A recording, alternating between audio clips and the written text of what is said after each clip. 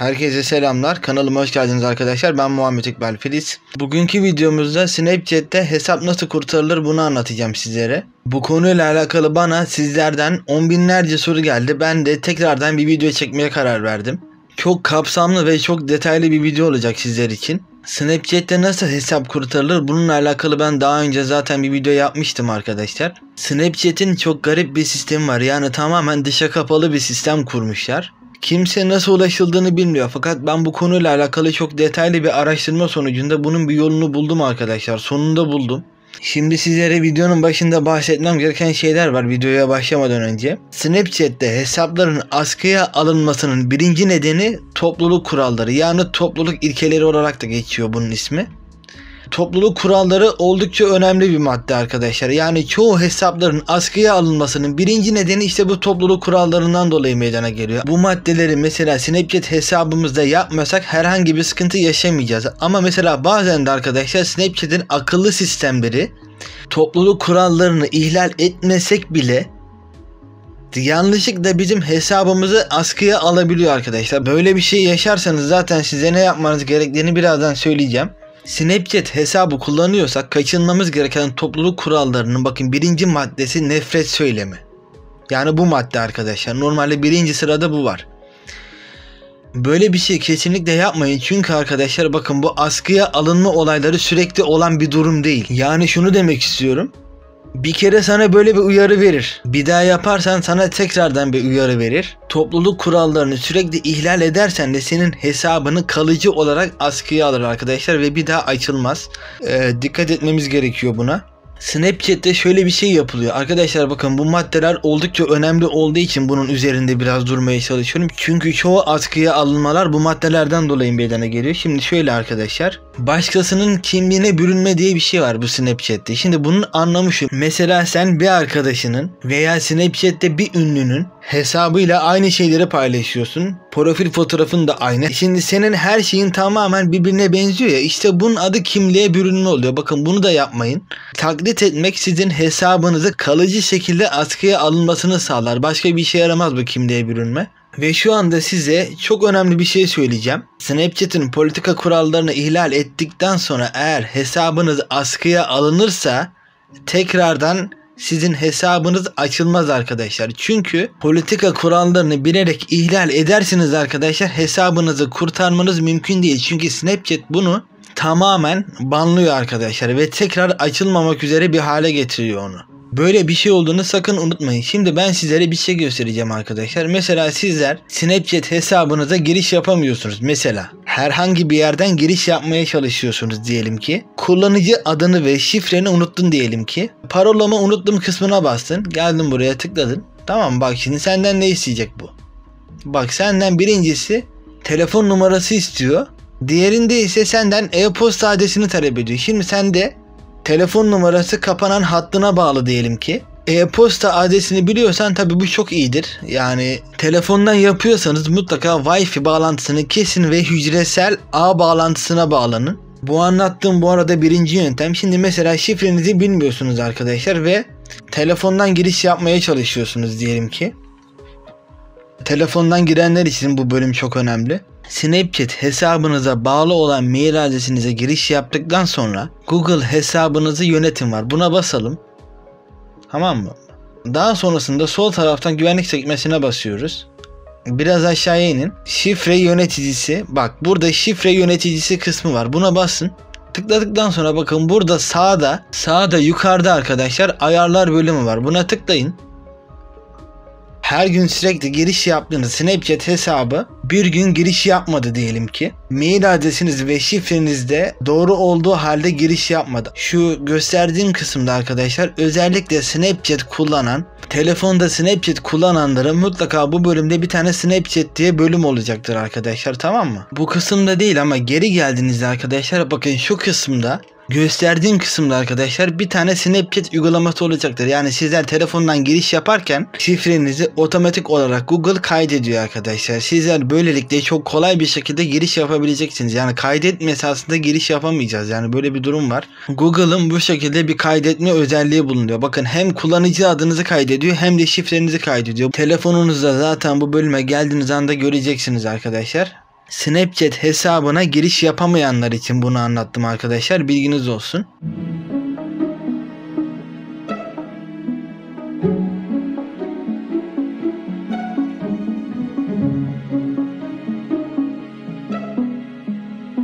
Snapchat'in destek platformu var. Şimdi bu platformda hiçbir şekilde yardımcı olmuyor ama her ihtimale karşı burayı tekrar denemekte fayda var. Çünkü bazı yeni kurallar geldi bu arada Snapchat'e. Birazdan bahsedeceğim onları size. Bakın şimdi bu bölümde bizden bir istek göndermemizi istiyor. Bu maddelerden bir tanesi hariç diğerlerinin hiçbiri bizim yetkiliyle bağlantı kurmamızı sağlamıyor. Bize ulaşın sekmesinde hesabıma erişemiyorum kısmına basalım. E-postamı veya cep telefonu numaramı doğrulayamıyorum kısmına basalım. Hala yardım ihtiyacın var mı kısmına evet dedikten sonra bakın bize burada böyle bir tane pencere açılıyor. Şimdi bu pencerede Snapchat kullanıcı adınızı girmeniz gerekiyor buraya. Tamam mı? Bak şimdi. Ee, kullanıcı adınızı ben bilmiyorum ama şimdi ben buraya ben buraya rastgele bir şey yazacağım.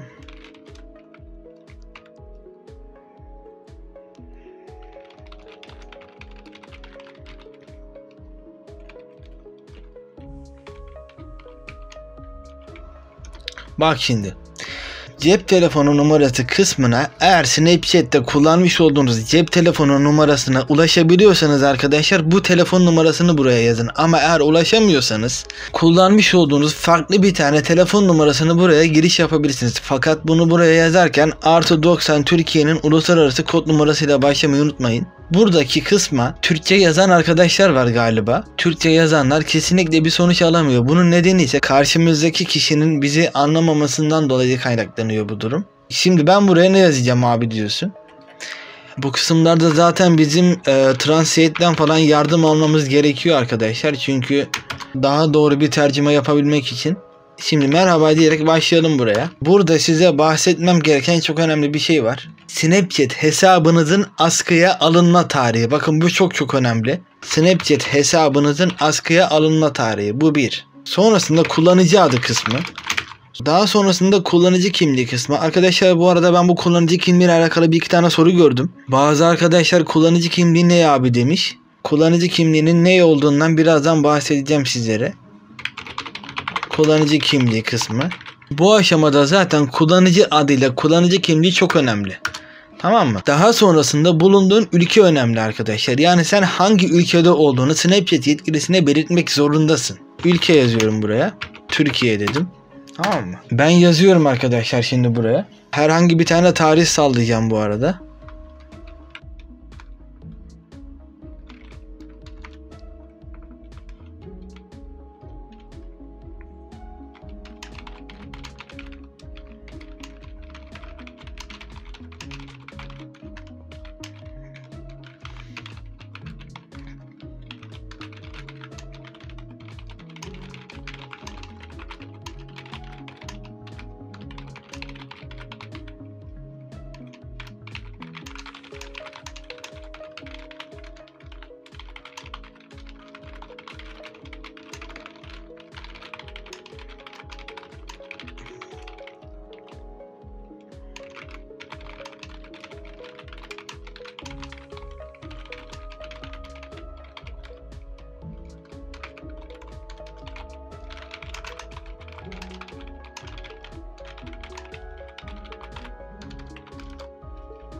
Askıya alınma tarihini yazıyoruz buraya. Kullanıcı adı, e, kullanıcı kimliği, ülke.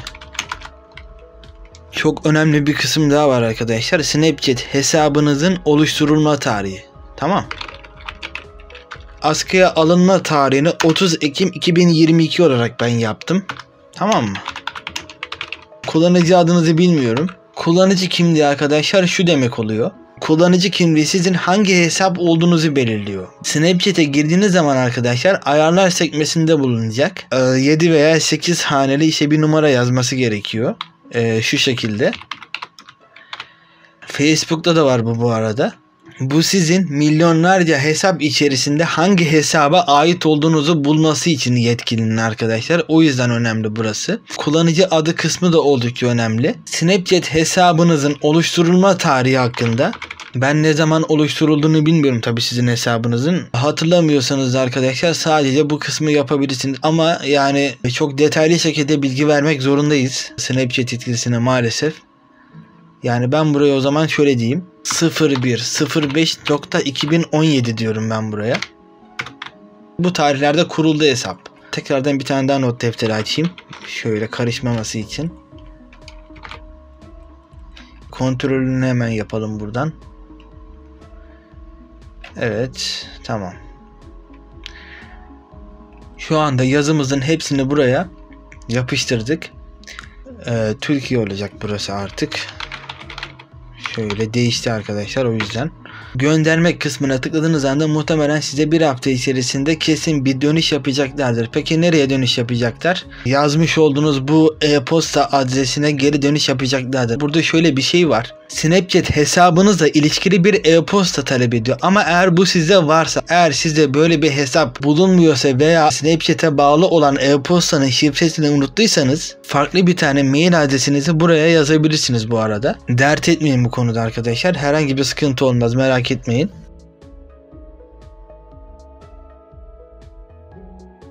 Bu maddemizde ise arkadaşlar şöyle bir şey var. Bir önceki maddemizde hani biz böyle şeyler yazdık ve gönderdik ya. Şimdi şöyle bir şey yapacağız burada. Beklemeye zamanınız yoksa ve çok daha hızlı cevap almak istiyorsanız çok daha hızlı cevap alacaksınız buradan. Bu şekilde hesabını kurtaran birçok arkadaşım var benim. Hatta ben bile garip bir sistemleri var demiştim ya. Bu Snapchat benim hesabımı yanlışlıkla askıya almıştı arkadaşlar. Ben de gittim hemen buradan Twitter hesabından tweet attım hemen gittim. Çünkü ben haklıydım arkadaşlar. Durduk yere hiçbir şekilde politika ihlali yapmadığım halde gelip benim hesabımı askıya aldı. Daha sonrasında ben de hemen Snapchat Sport kısmıydı galiba. Twitter'da Snapchat'in yardım hesabına buradan tweet attım ben. Mesaj da atabilirsiniz bu arada. Bakın hemen e, şu kısımdan. Mesaj kısmına tıkladım arkadaşlar. Tamam mı? Sonrasında hemen şuradan yeni mesaj kısmına bastım. Snapchat Support kısmı. Tamam mı? Next dedim. Farklı bir yazı yazdım buraya ben ama göstermek istiyorum sizlere ben bunu da ama. Şöyle yapacağım hemen şunları bir kopyalayayım. Çünkü ben nasıl yaptım? Belki siz de benimle aynı şeyi yazmak istersiniz.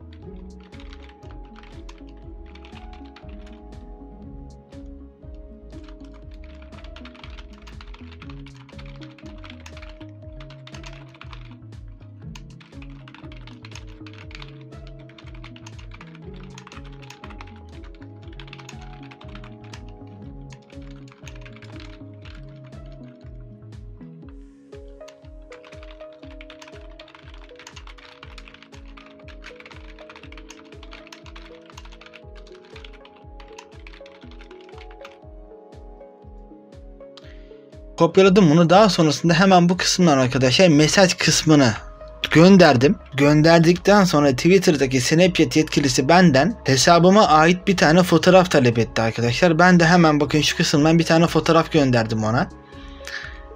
Ee, tıkladım buraya. Bu şekilde ben buradan Twitter üzerinden mesajlaşarak hesabımı açtırmıştım. Daha birçok arkadaşım da zaten Twitter üzerinden hesabını açtırıyor. Fakat burada dikkat etmeniz gereken bir şey daha var. Politikaları ihlal etmediğiniz takdirde her türlü Snapchat hesabı açılır arkadaşlar. %100. Politika ihlalinden dolayı eğer hesabınız kalıcı olarak kapandıysa e, geçmiş olsun diyorum.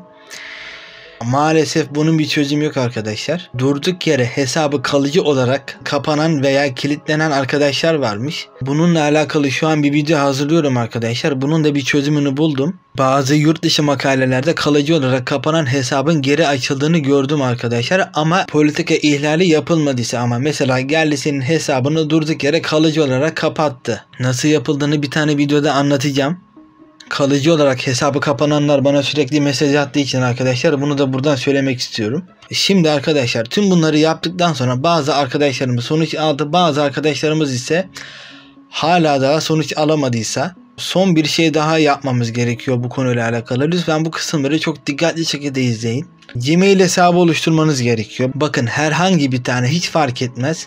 Yani şu an belki de Snapchat hesabınızda kullanmış olduğunuz e, mail adresini de kullanabilirsiniz. Yani hiç fark etmez. Bu mail adresine giriş yaptıktan sonra bakın sol taraftan hemen oluştur kısmına basıyoruz. Yazdığımız yazılar zaten duruyor. Şimdi biz buradan Snapchat yetkilisine mail atmamız gerekiyor. Zaten mail adresleri mevcut var. E, help at şöyle e, help at snapchat.com Tamam mı? .com ee, Konu kısmını ise zaten biraz evvel yapmıştık. Şöyle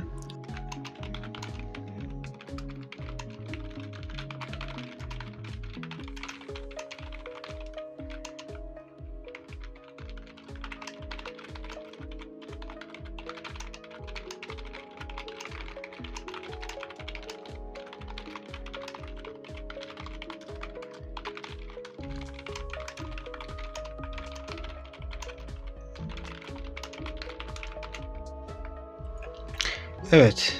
Sonrasında şu kısmı da e, Ctrl V yapalım buraya. Tamam. Konu kısmına şunu yapıştıracağız.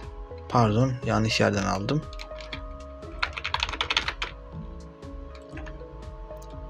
Ctrl V yapıyoruz buraya ve e, çok önemli yazalım buraya.